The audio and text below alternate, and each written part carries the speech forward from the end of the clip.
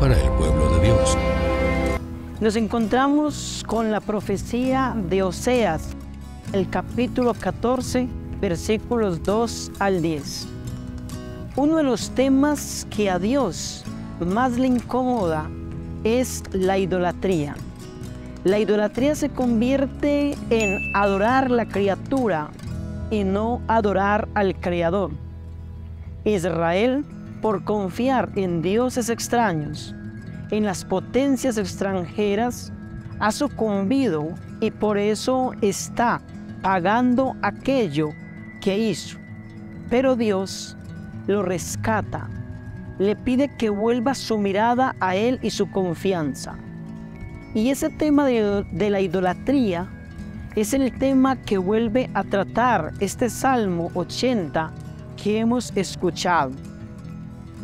Te respondí oculto entre los truenos, te puse a prueba.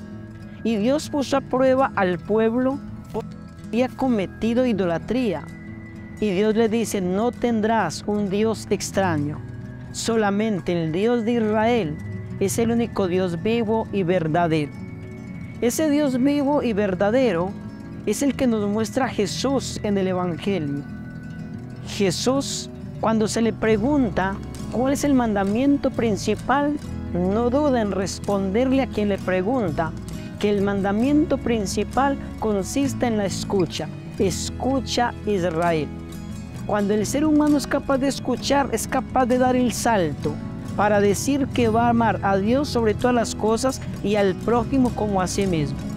Cuando somos capaces de escuchar, de amar a Dios, amar al otro y amarse a sí mismo, el ser humano no tiene por qué cometer idolatría, porque toda su fuerza está en Dios.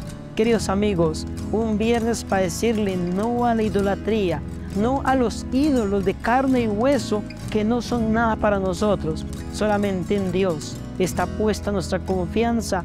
Dios camina con nosotros, Dios nos ha salvado y nos sigue llamando a vivir de pura gracia. Que tengan feliz viernes, que sea un lindo viernes para estar en paz con Dios, con los demás y con nosotros mismos.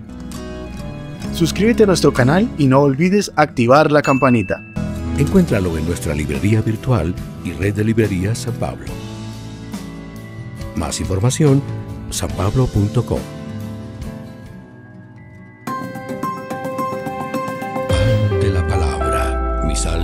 para el pueblo de Dios.